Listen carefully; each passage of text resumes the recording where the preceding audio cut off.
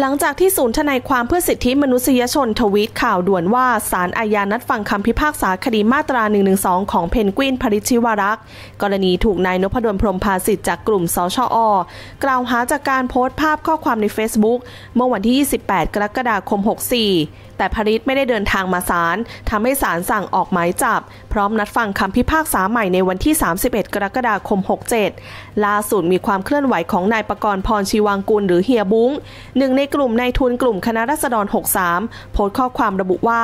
เดินทางปลอดภัยลูก ไปแล้วไม่ต้องกลับมา ไปอยู่ประเทศเสรี ไปอยู่ประเทศที่เจริญแล้ว ตั้งใจเรียนหางานดีๆทำใช้ชีวิตอย่างระวัง ดูแลสุขภาพจิตสุขภาพกายให้ดี รอคอยเวลาที่เหมาะสมโชคดีนะลูก แล้ววันหนึ่งเราจะพบกัน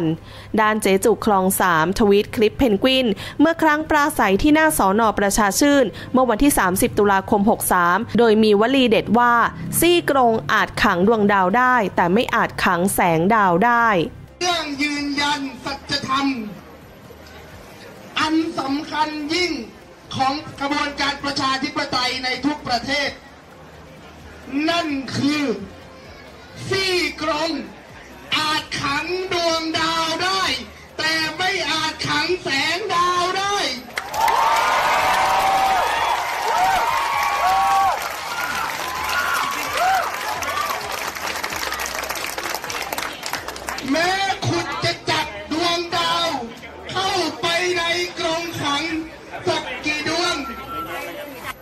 ดวงดาวอีกทั้งกาแล็กซี่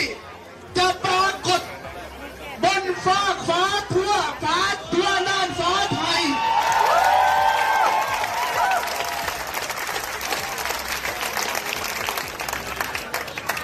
โดยส่วนตัวผมและผมเชื่อว่าทุกทุกคนก็คิดเหมือนกับผมรู้สึกเหมือนกับผม ผมขอปฏิญาณต่อทุกคนณตรงนี้ ว่า หัวใจของเรา ยังคงมีศรัทธามั่นต่อสถาบันประชาชน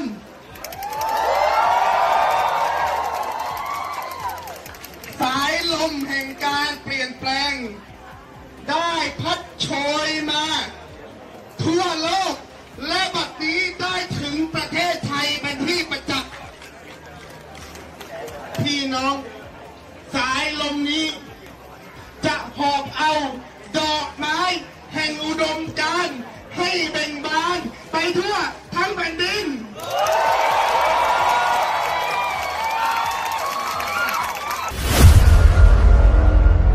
ในทางการเมืองแม้ไม่รู้จุดหมายปลายทางของเพนกวินว่าจะหนีไปกบดานที่ประเทศใด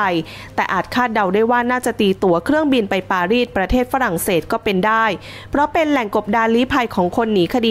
112กองรวมกันอยู่เป็นจำนวนมาก แม้ยังไม่รู้พิกัดแน่ชัดของเพนกวิน แต่ที่แน่ ๆ การเผ่นหนีคดี 112 ของเพนกวิน สะเทือนไปทั้งขบวนการ 3 นิ้ว ขนาดพิชิตไชยมงคลแกนนำเครือข่ายนักศึกษาประชาชนปฏิรูปประเทศไทย หรือคอปทอยังตอกหน้าหงายว่า การหนียิ่งตอกย้ำว่าไม่ควรนิรโทษกรรมความผิดมาตรา 112 ทำผิดแล้วหนีเพื่อรอนิรโทษกรรม จะอธิบายคนที่ติดคุกยังไง ก่อนที่พักก้าวไกลจะออกมาเรียกร้องนิรโทษกรรมมาตรา 112 เบื้องต้นช่วยจัดการการไม่ให้ผู้ต้องหาหนีศาลหรือกระทำผิดเงื่อนไขศาลกันก่อน การรับผิดชอบต่อกฎหมายประเทศ คือความเท่าเทียมที่สร้างง่ายที่สุด ไม่ใช่หนีแล้วจะล้างผิดให้กลับมาได้ มาร่วมสนับสนุนท็อปนิวส์นำเสนอความจริงได้แล้ววันนี้ เพียงกดปุ่ม Super Thanks แล้วเลือกจำนวนเงินตามที่ต้องการได้เลยครับ ขอบคุณครับ